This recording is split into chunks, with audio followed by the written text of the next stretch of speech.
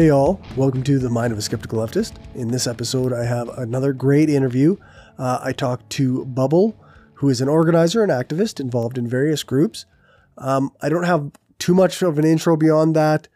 I uh, was going to talk about some news items, but uh, I've been getting over a sinus infection, so it's thrown off my whole game. And also, I've had troubles with the video editing software for like two weeks. So everything's going very slowly and I'm way behind on processing everything. Uh, one thing I should mention is that we're taking a short break from Red Reviews while Justin has uh, some surgery. He, uh, we, I have one left in the recording can. Uh, so that one will come out relatively quickly. And then the next one we would do is uh, that'll be the last one before the new year. I still have many backlogged inter well, three or four backlogged interviews. I have um, uh, multiple Ask an Anarchist segments, and I still have the Anarchist Reading Corner stuff all to put together and then put out. And I would like to start putting out uh, the Anarchist Reading Corner stuff a lot more frequently, but we'll see how that goes. I'm also hoping to find time for some very short episodes where I do a quick hot takes on news, uh, kind of like the ones I've been doing in the intros, but uh, I still haven't figured out how or when I'm going to be able to accomplish that. So stay tuned, and if you're on the YouTube, hit that little notification button or bell so that you can keep up with all the latest developments on the channel. Thanks.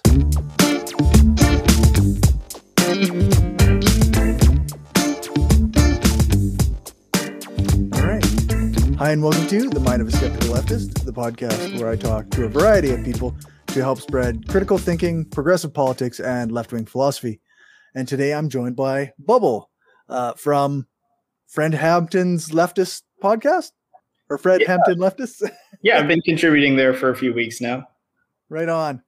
So I guess uh, a good place to start is just to get you to introduce yourself a little bit. Okay. Um, my name is Bubble He They. I'm an organizer in Dallas, Texas. Um, I've been organizing for about two years now. Um, uh, I'm an anarchist organizer, and uh, I'm in a ton of different groups: Food Not Bombs, SRA, a couple groups I co-founded, uh, DFW, Rainbow Coalition. Um, so yeah, you know, I've just uh, just been kind of throwing myself into the work recently. That's awesome. I uh, I live in an area where it's incredibly difficult to find other anarchists or like other groups that are doing organizing.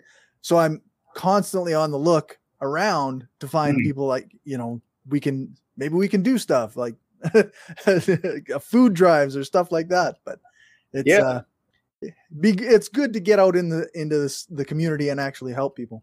Yeah, absolutely. And I mean uh it's certainly helped my my mindset actually like doing work toward uh, a resilient future that I want to see. You know, a lot of people I think are overwhelmed by all the bad news, you know, climate news, um, political sure. news.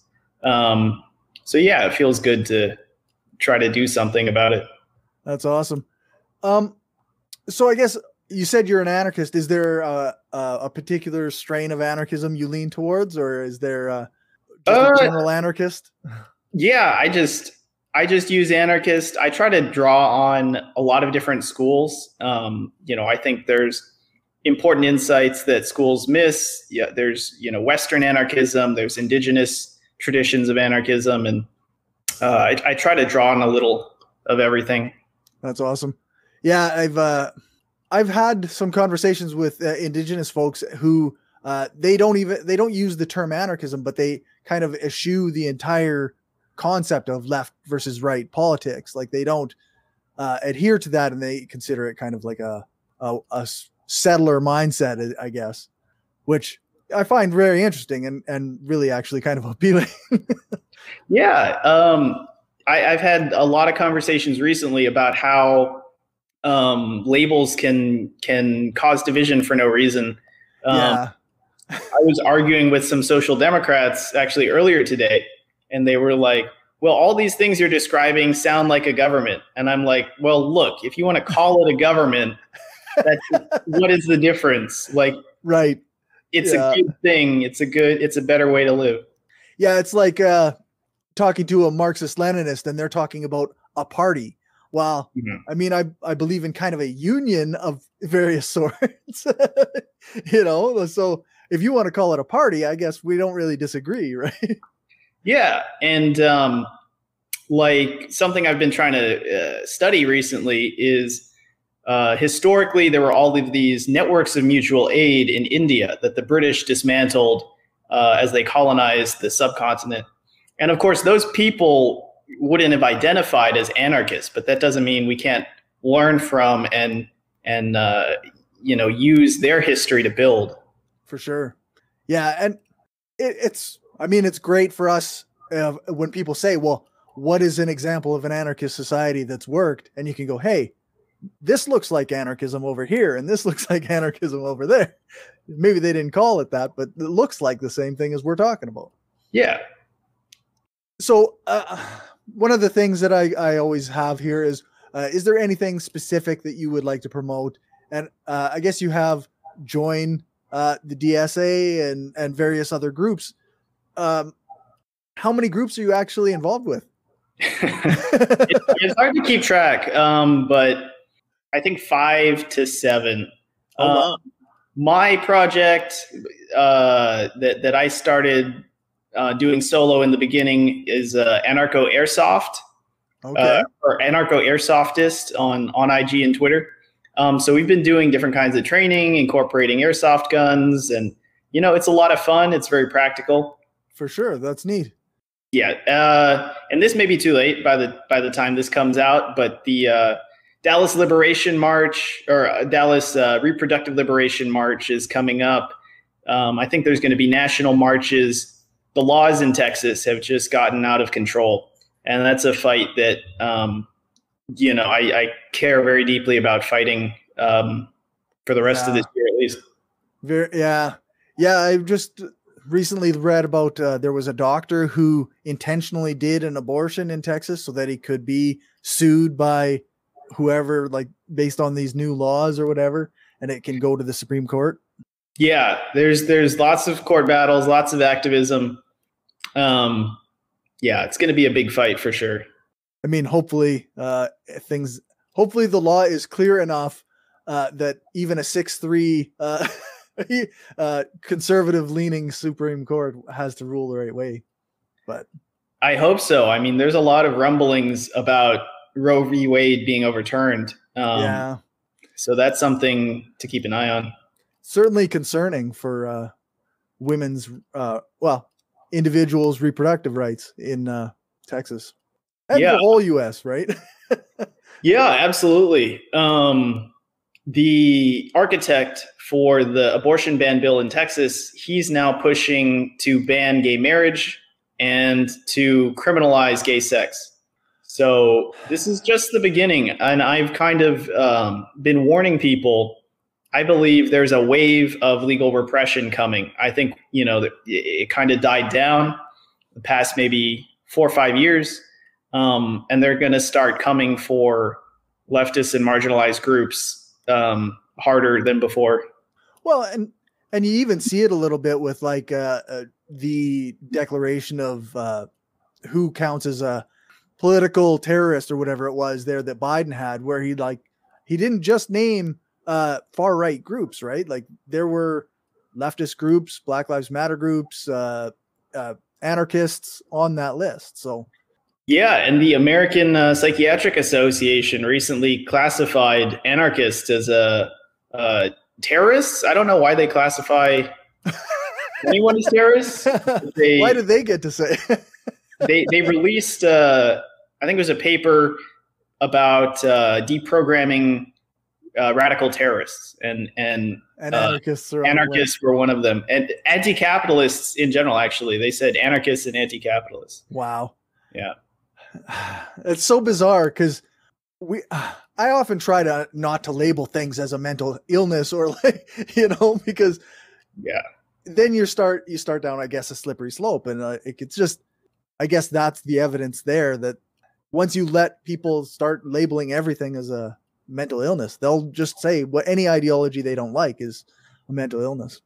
Yeah, I've never been anti-psych, but that paper really yeah made me realize um, viscerally the validity of what anti-psych people are talking about, which is like the historical um, pathologization of of uh, anyone who's opposing the system.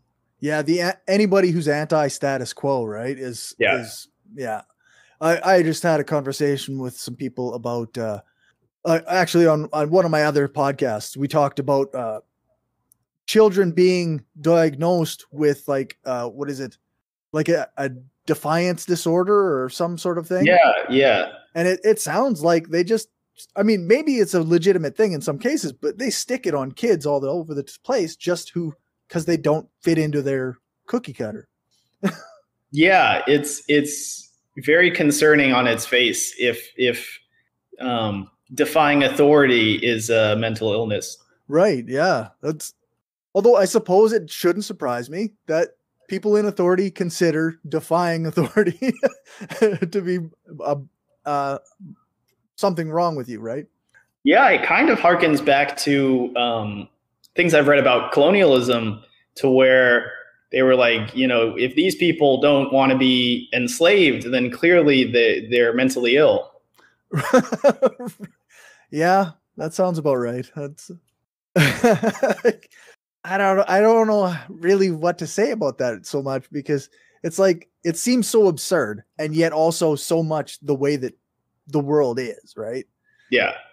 So I'm curious about uh, your work in DSA. Like uh, you say you're an anarchist. How does that work with, uh, like I say, the DSA is, or or that's the Democratic Socialists of America, right? Yeah, it is. I'm actually not a member of DSA. Uh, I have a lot of friends who are. Okay. Um, and I I I've worked joint events with them. Uh, but I will say I saw a pretty funny picture of the anarchist caucus of the DSA, and they oh. had a big anarchist flag, um, and nice. uh, they look pretty militant. It's a funny picture. Maybe you maybe you could Google it. But yeah, uh, I'll have to do that. yeah, my understanding of them is it's it's a big tent. Uh, That's cool. There's a lot of contradictions there. Yeah, I suppose it's when you're trying on the left when you're trying to gain power in countries that are typically anti-left. Um, we got to do what we can, right? Yeah, you know, personally, I've I've done things in electoral politics before, but uh, currently, I'm I don't really see much hope in that sphere, um, which is one of the yeah. big reasons I don't think I'll ever join DSA because they focus a lot of their efforts there. But I'm glad it exists and it, it brings a lot of people into um, doing cool stuff. Yeah, we have uh, a similar thing. Like we have the Democratic Socialists of Canada here, mm-hmm. and uh, I, I, I enjoy their content. I I like the guys that I know out of that group, and uh, but again, like you say, they focus so much on the election electoral stuff, and I just don't I don't see that as being the only key to changing things. Although I don't want to say that it, it's not valuable either, right? Like I know there's a lot of leftists who really they they they absolutely think that none of us should be involved in electoral politics at all. But I'm not, so I'm not there. mm-hmm. it's just it's such a it's such a mess. It's such a money and time pit. You know, it's yeah. when I imagine all of the thousands of volunteers and millions of dollars spent on just losing an election anyway. You know, yeah. yeah. Imagine, imagine if they were building a mutual aid organization, right? That would be right something yeah. beyond impressive. Yeah, like you say, like thousands of volunteers all working towards like some kind of dual power uh, kind of system. That would be pretty helpful, I think. Yeah, absolutely. Which leads, I guess, into uh, like food not bombs, stuff like that, eh? Yeah, absolutely. I guess I talk about I've talked about food not bombs in the past, I, I think on the show, but uh, just in case people aren't familiar with that, uh, what is Food Not Bombs? Uh, Food Not Bombs is a national organization uh, started in the U.S. in the 1970s, I believe, um, and basically, it's just the principle of free food. Um, they provide free food to unhoused communities, um, climate refugees, uh, protest events, and uh, people get together. They cook um, vegan or vegetarian food, and they distribute it. And it's a it's an amazing thing. It's been going for a long time, and uh, you know it's activated a lot of people. I think uh, Robert Evans mentioned that Food Not Bombs was his first uh, introduction to anarchism. Yeah, it's it's probably one of the I guess longer lasting and more well known anarchist groups. Yeah, for sure.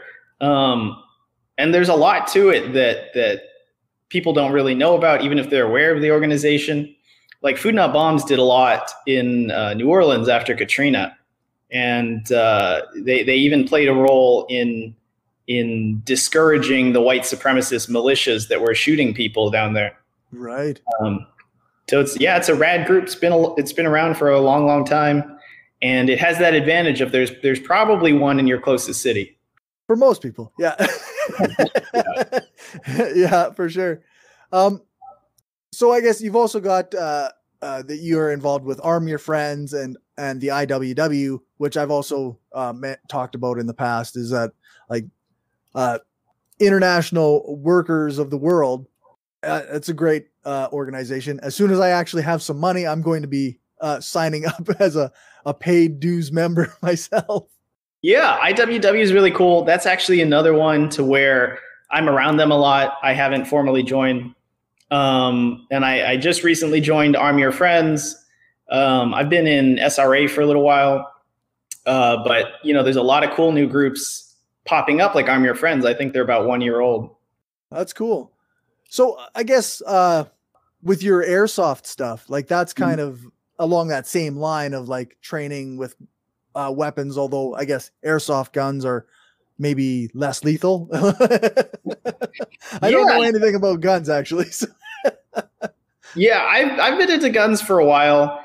Airsoft guns are are kind of coming up in the wider gun culture Okay. Uh, at least here in America, uh, especially as ammunition gets a lot more expensive. Okay. But there's also a lot of things that you can do with airsoft guns that you can't do with real guns, um, like shooting each other, like uh, right. doing some of the more like high risk um, things. You know, if you need to cross in some in front of someone, that's something you never do with a real gun because there's just too high a risk of shooting them in the back. Right. But with an airsoft gun, you can kind of get some of that practical training. Yeah, I suppose, and it reduces. Yeah, uh, that's a, a great idea, I guess, if you're actually training to uh, defend uh, like a an autonomous zone or something like that. Yeah, or even just for personal self defense. I mean, we've had a lot of QAnon murders. We've had a lot of political right. violence here in the U.S. Um, I think it's a it's a growing concern for a lot of leftists. Uh, we also train martial arts, so like hand to hand stuff. Um, I've been a martial artist for 20 years. Okay, cool. So yeah, it's it's fun. It's practical. Uh, that's probably my biggest passion. I try to be involved in everything, but uh, I like teaching that stuff. That's awesome. I I know like here uh, a lot of people who are kind of lefty or are, or even like if they're uh they don't fit into the cis white straight hetero guy, you know, all that all the uh basic what they consider norms, right? If you don't fit into that, then you're rejected from a lot of the gun clubs and stuff that are around here. Um, so I don't know uh, if we uh, had a kind of an SRA or or something like that around us, that would be really good. But uh, I don't think Saskatchewan is maybe even ready for armed socialists yet. well, I mean, you never know. Like, there's a lot of people I found uh, on Twitter that uh, you know they're they're in your local area. They never they they also think there's no one else. And uh, right, yeah, I've seen people be very successful just recruiting off of Twitter. Like, hey, do you guys want to start something? yeah, uh, that worked really well for me back in my uh, atheist community days, but I mm-hmm. haven't had so much luck being a Saskatchewan leftist on on Twitter. yeah, but uh, So you're also involved with the Fred Hampton Leftists podcast. Um, Yeah. so how long have you been involved with that? Um, I think it's been three weeks now. So similar to, to what I saw you do, they just put out a call. Like we'd like to talk to more leftists, a diverse group of leftists. Um, and I thought, you know, that's a it's a great opportunity to kind of boost what I'm doing here in Dallas and you know talk about ideas with other people. So For sure. yeah, I jumped on it. It's been it's been really cool so far. And what is, uh, I guess, what is the kind of the vein of that show? Like, do they have a particular uh, goal in mind? Um, I'm not sure about a particular goal. You know, the conversations have been very radical. It's been a lot of fun. It's been all about yeah, revolution, direct action. How you know, how do we do a general strike tomorrow? Things like that. Right. Um, so yeah, it's been really fun. No, that's awesome. I spent, uh, I mean, you mentioned Robert Evans, so you probably listened to his newest show, uh, It Could Happen Here daily. Yeah, Um, after the first couple episodes of that came out and he was talking about general strikes, I like was all over trying to contact people, see what we could do, you know, in Saskatchewan for a Mhm. general strike. Like it's it, it requires such planning uh, that we have to start planning it almost now if we want to do it, you know, in a few months, right? like, or even Yeah. years. Like we have to really establish a foundation here. yeah, absolutely. Um, I've looked into the history of general strikes. Usually, it's very large unions and and Yeah. uh, coalitions of unions that are able to pull that off. Um, you need a lot of money. You need a lot of food uh, and water and all. Yeah, it's it's an ambitious project, um, and I'm glad people are excited about it. But it does require a lot of planning. I think. Yeah, like I work in the oil field in Saskatchewan. Oh, Uh, so I I think that that's almost a bottleneck. If we could, if I could somehow manage to convince uh, a group of me- people who are currently very conservative and very on board with pro oil propaganda, uh, if I could somehow convince them that we could, we need to do something to change the way the world is running, uh, then I think that that would be a great place to do it because. Like I say, like that's a bottleneck. That's where so much of society's money is coming from. But yeah, that would be amazing. the Uh, trick the trick is getting these guys on board. Yeah, and I think it's I think it's become very difficult to get people out of their partisan bubbles. Yeah. Um, I think the algorithmic information bubbles that we've been placed in it just it reinforces everyone's pre-consisting pre pre-existing beliefs just constantly.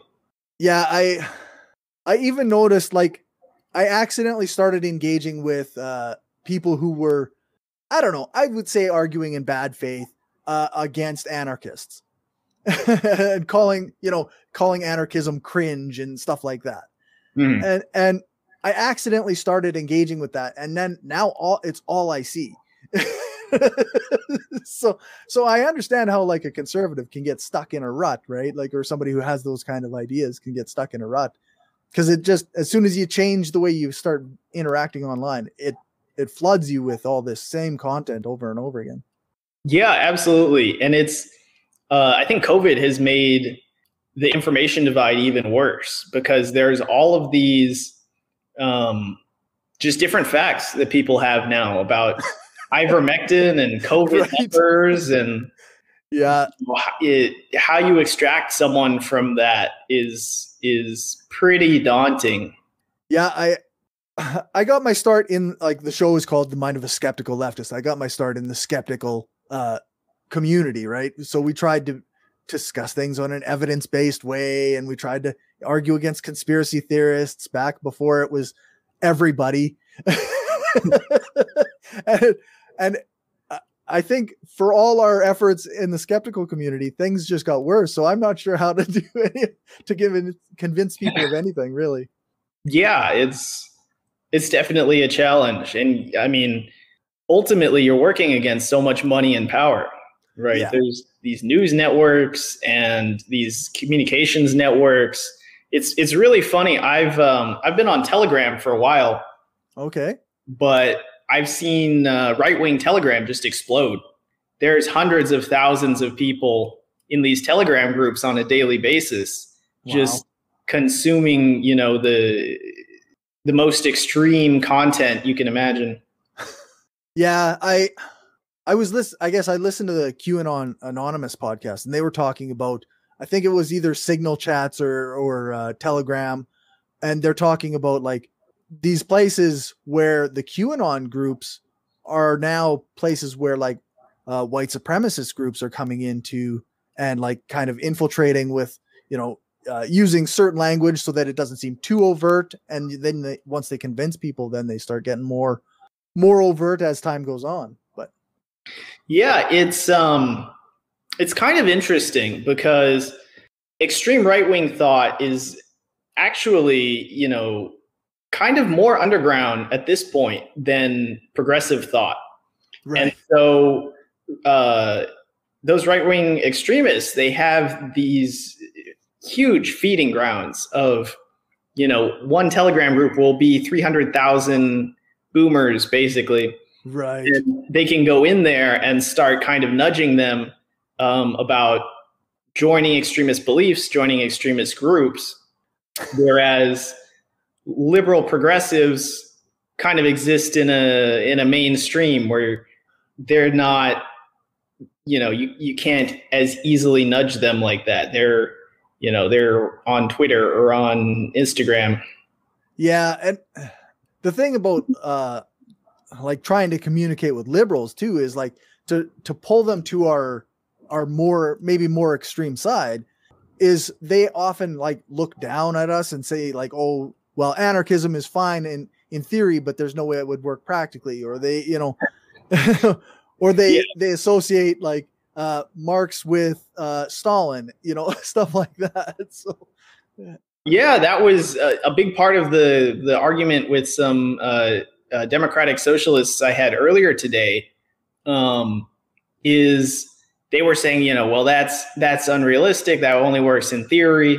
And so I asked them, you know, what is your timeline for turning us into a Scandinavian welfare state? How do you think that's going to happen? and they said, well, you know, we're gonna we're gonna push it left um, over the next forty years. I think we'll get there in forty years. And I said, well, how is that realistic? You know, you have any idea how bad climate collapse is going to be in forty years? yeah I think uh, I think what I'm doing in trying to build, you know, anarchist-ish networks of mutual aid is is much more realistic over the next 10 to 20 years. yeah Um, so yeah, there's a lot of, and you know, I think it'll change. Uh, I think it is changing. What is considered pragmatic? What's considered realistic? We're kind of waking up from that, uh, like 1990s. Everything will be the same for forever. The end of history. right yeah Francis Fukuyama. I think that's that's dying as uh, climate change get wor- gets worse. Yeah, it's a shame that it takes uh, that major of a catastrophe to do it, but I guess at least it's potentially happening.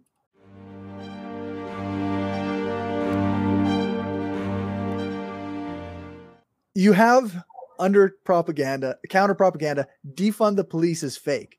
So I, I really think that that's probably going to be controversial amongst a lot of people.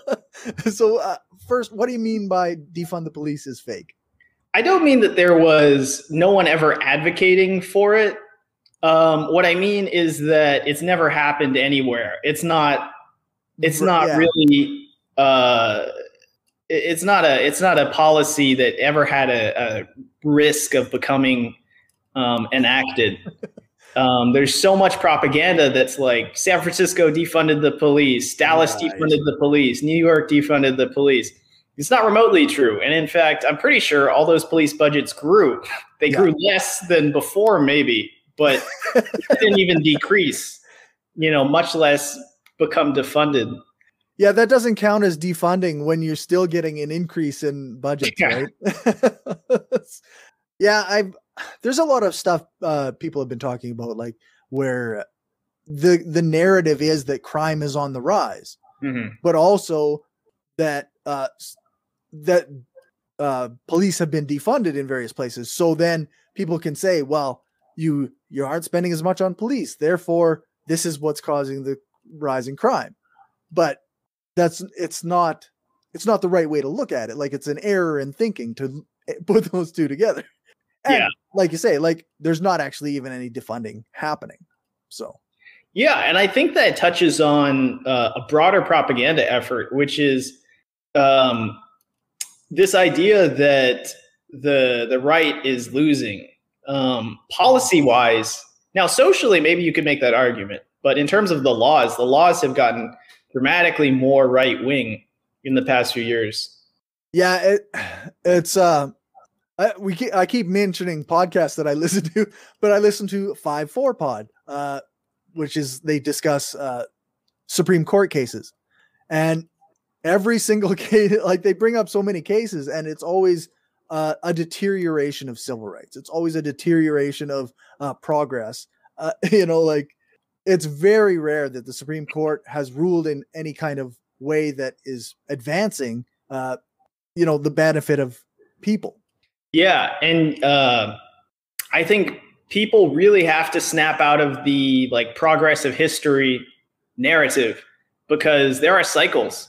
Um, if you look at after the Civil War, you had a bunch of elected Black Republican um, representatives and and government um, officials, and then all of that got rolled back. That all went away, um, and it can happen again. You you got to be vigilant for that. Well, yeah, that's that's exactly it. Like it's uh once you can't make progress and then just relax. like Yeah. If only we could. but that doesn't seem to be the way that things are working. Yeah, you can never go back to brunch. no, that's right. No more brunch ever.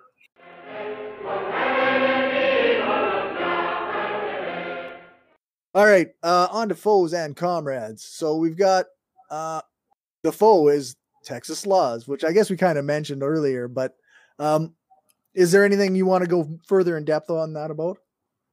Um, I- it's so many. It's 666 uh, that went into effect this year. Holy shit. I, I don't even know what half of them are about. Um, but obviously, there's the really big ones. Um, abortion is banned after six weeks in Texas. That is a huge blow against um, reproductive rights. Um, it's illegal to transport undocumented migrants, um, which you know I believe is is a step towards you know an ethnic cleansing essentially, which we've seen in Texas before, to where they just tried to expel, um, you know, all people of, of Latino descent. The the laws in Texas and also Florida, which I don't follow as closely because I don't live there, um, are just becoming extremely fascistic. And I, you know, I, I think people who don't live here may not realize the extent of it. It's it's outrageous. Yeah, and that's no good. Um, uh, I guess out of curiosity, what are some ways that uh, you think maybe people can fight against these laws, or, or is there anything that we that people can do? Um, there's all kinds of different groups working on it. There's people taking the court case uh, angle. There's uh, protest groups. Um, there's electoral groups also. Uh, I would definitely encourage people to focus more on the protest groups and the mutual aid groups. Um, but you know, there's there's so many different angles, and the the really cynical side of me um, uh, ha- has this this uh, buzzing in my head. Like on some level, the, the Democrats have to love this because there's so much fundraising and uh, right. active, you know, um, active volunteerism. Yeah, I mean, it sounds cynical, right? But it's probably not far off from true either. like, No, I'm sure some someone somewhere has had that discussion. Like this is going to be great for us. We're going to raise a ton of money. right. Yeah. It's it's I guess it's the same like the the hashtag resistance or whatever online, right? It doesn't actually solve anything, but it funnels money to political candidates from the Democratic Party. Yeah, and, and and people have said similar things for decades that, that the Democrats love to lose because it really does help them in a lot of ways. You know, as a as a party, as an organization, they don't necessarily benefit by passing laws that their voters want. They they benefit when people give them money and get excited. Yeah. That, that's, so yeah, it is it's so not cool. Like I, I really yeah. I don't know how else to say it. Like that's really shitty, right? But it, it's system. just the way it is. Yeah. No, it is a terrible system. Okay, and for your comrades, you have mutual aid groups have been scaling up. So I guess that's like your food not bombs and your uh, local groups that have been uh, kind of helping people out. Yeah, and there are not as political groups um, in my area. There's a Harvest Project and Oak Cliff Veggie Project. Um, they do growing and distributing food.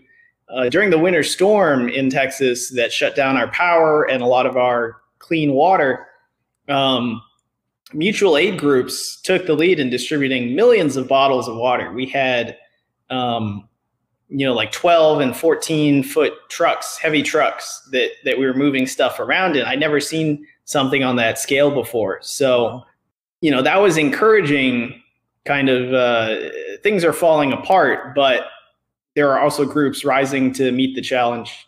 Yeah. It's where states fail, citizens have to step in, right? Yeah, absolutely. So I guess is there anything else uh, that you think uh, you should want to mention that I haven't asked about or that uh, we haven't discussed? Um. Yeah, I don't know. Go go check out uh, the the training we're doing at Anarcho Airsoftist. Um, I, I've been trying to make instructional videos as well as as um, other stuff because there's a limit to the space and the, the resources we have, but I would love to see more leftists um, training self defense just because those are useful skills. Uh, you know, I used to I used to follow the actions that they had. Well, I mean, I still do, but following the actions in like Portland and San Francisco, oh, yeah. I'm sick of I'm sick of seeing uh, kids get beat up. You know. Yep. I was just watching a video on uh, the Proud Boys here this morning, and it's just it's so frustrating to watch them get away with stuff like that. Like, yeah, just going around and beating up people. Like, yeah, it's not.